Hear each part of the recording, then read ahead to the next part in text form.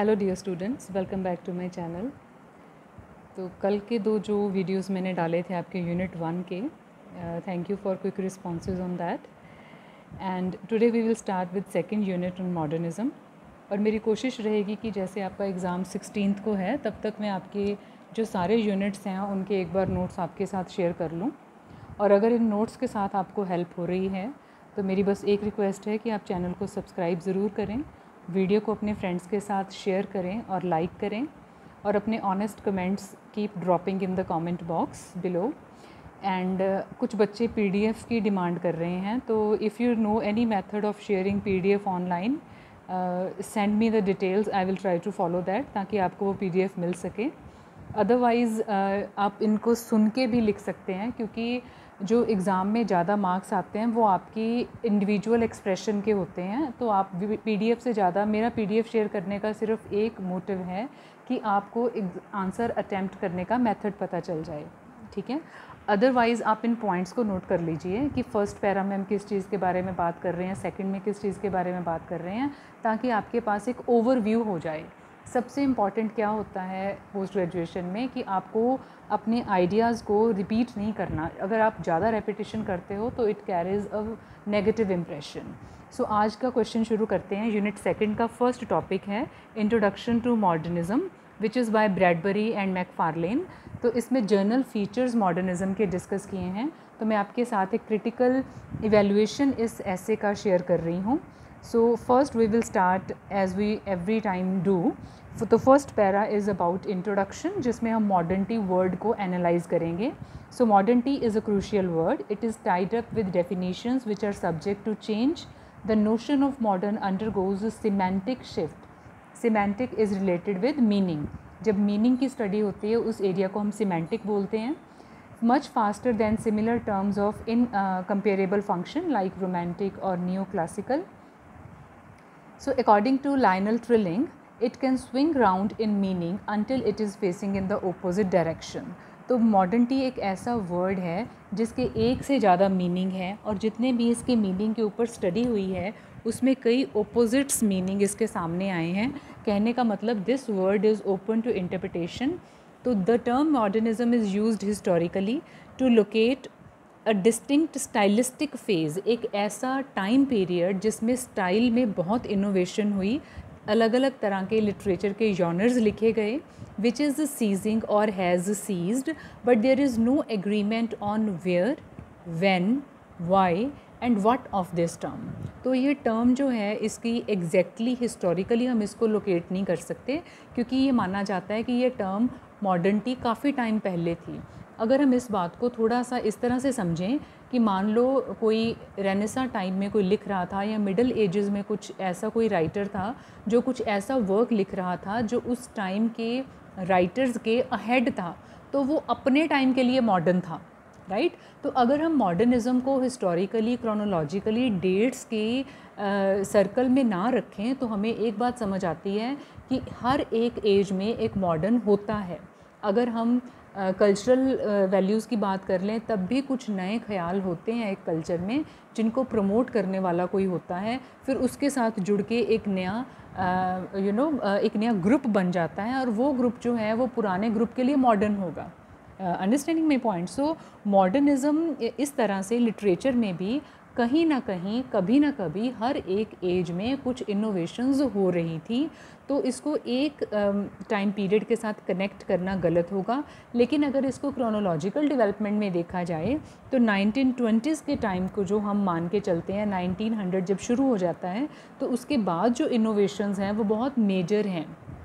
और इसमें फ़िक्शन में आप याद रखना जब साइकोलॉजिकल डेवलपमेंट आती है जब हम बात करते हैं फ्राइड की तो वहाँ से मॉडर्निज़म की एग्जैक्ट शुरुआत हो जाती है। जैसे फ़र्स्ट वर्ल्ड वॉर 1914 में है तो वहाँ का जो सारा लिटरेचर है वो डिफरेंट होना शुरू हो जाता है because of the experiences right तो इन चीज़ों को हम इस तरह से इस परस्पेक्टिव में देख सकते हैं। सो so, एग्जैक्टली exactly कब शुरू हुआ ये कहना मुश्किल है।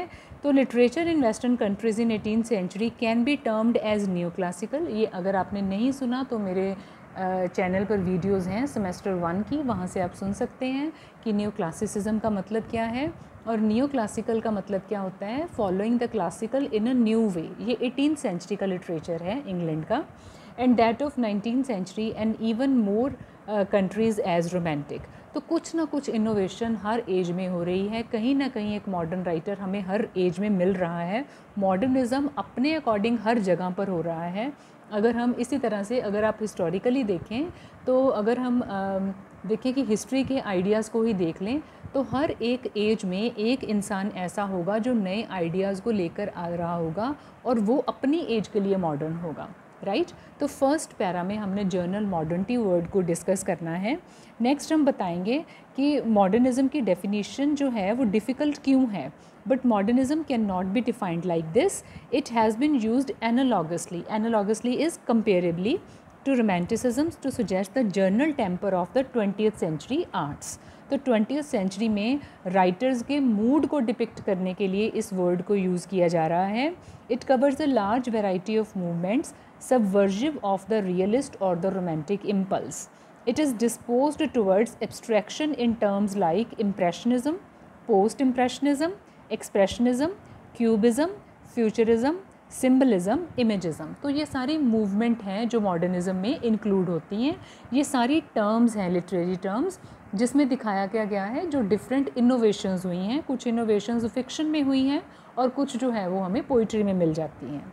तो modernism makes a new era of high aesthetic self consciousness and non representationalism art had turned away from realism अब पिछले यूनिट में हम क्या पढ़ रहे थे? जो कल मैंने दो वीडियोस अपलोड की थी, उसमें हम बात कर रहे थे रियलिज्म की।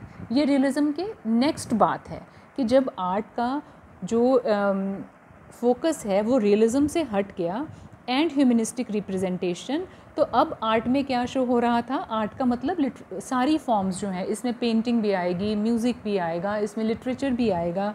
It aimed at deeper penetration of life as Nietzsche has set no artist tolerates reality it set the artist for free to be more ये वर्ड फ्री है. It set the artist free to be more himself the artist has the means to transcend both history and reality by the disposition of is technique अब artist ने reality में जो उसका perspective है, उसको लिखना शुरू किया। रियलिज़म को एज सच डिफ़ाइन करने की बजाय, वो रियलिटी को खुद कैसे प्रसीव कर रहा है, ये लिखना शुरू किया। तो first two paras are clear first में हमने मॉडर्निज्म को जर्नली डिस्कस किया. सेकंड में हमने बताया कि ट्वेंटी सेंचुरी में जितने जो इज़म्स हैं, जितने जो ट्रेंड्स आए, उनकी वजह से एक मेजर शिफ्ट क्या हुई कि रियलिज़म जो था, वो एक स्कीनिक डिस्क्रिप्शन नहीं था, जो कि इससे पहले तक था कि सोसाइटी में क्या हो रहा है, वो लिख दो, वो रियलिज़म है। लेकिन यहाँ पर जो सोसाइटी में हो रहा है, उसको एक राइटर कैसे एक्सपीरियंस कर रहा है और उसको कैसे वो देखता है उसका परसेप्शन क्या है उसका पॉइंट ऑफ़ व्यू क्या है उस तरीके से जब लिखा गया तो वो मॉडर्निज़म की फॉर्म में आ गया राइट तो modernism has bin use to convey all the new changes in field of painting music poetry and novel Frank Kermode rightly remarks, modernism has meant not only radical remarking of form, but the tendency to bring it closer to chaos. Chaos क्या है A kind of upheaval, जिसमें things are turned upside down so producing a sense of formal desperation तो इस तरह की poetry में इस तरह के लिटरेचर में क्या हो रहा था? A kind of desperation why because it depended much on the experience of the writer to some writers like Cyril Connolly modernism took birth in France it slowly moved beyond the channel and across the Irish sea until the American finally took over it अब ये journey है कि modernism कुछ critics के according writers के लिए कहाँ शुरू हुआ? फ्रांस में। देन इंग्लिश क्रॉस करता हुआ ये आयरिश सी तक पहुँचा और अमेरिका तक आया। But it is very difficult to fix on any one particular time as the start of the modern movement, 1880 is agreed by many as the meeting point of enlightenment and romanticism. Critical intelligence and exploring sensibility stimulated the work of the first generation of truly modern writers. All of them had owed something to Flaubert and Baudelaire Mallarme GeM and Villiers ये आपने symbolism में सुने होंगे ये नाम ये French सिम्बलिस्ट हैं Then there was wave after wave of writers, artists, musicians contributing to a very modern sensibility. There were Debussy, Yeats, Proust, Valéry, followed by Eliot, Pound, Lawrence, Joyce, Woolf, Hemingway, and Faulkner. Huxley and thus to the present day. So this is a long list of the writers जो अपने work में modernism को show कर रहे हैं So 1910 is considered by Virginia Woolf and 1915 is considered by D.H. Lawrence as the time of change. These were the times of intensity due to First World War. जैसे मैंने आपको बताया कि First World War के साथ ही connect किया जाता है major changes को. According to Richard Ellman, I should suggest that 1900 is both more convenient and more accurate than Virginia Woolf's 1910. In 1920s, the modern impulse reached a point of exhaustion. In the post-war period, art moved from modernism in the direction of realism and linearity, a new entity called postmodernism. The term is acquiring high currency to talk about a compound of literature of silence in the idea of absurd creation. Um, the idea of absurd creation, parody of not only Nouveau Roman in France but non-fiction novel in Germany and the States also Facts, objects or historical events are placed in the context of questioning narrative of multimedia forms like the street theatre etc. In fact, the argument around postmodernism now adds to the abundance of versions of modernism. अब ये para उसी चीज़ के बारे में जो मैंने beginning में बात की थी So the mingling of the these two terms modernism and postmodernism is viewed differently from different standpoints. New York, London, Paris axis, Germanic, Anglo-American, Austrian axis, etc. The controversy is never ending. Lionel Trilling in his essay of 1961 on the modern element in literature took example from Arnold's lecture of 1857. In short, modernism was in most countries an extraordinary compound of the futuristic and nihilistic the revolutionary and the conservative, the naturalistic and the symbolistic, the romantic and the classical.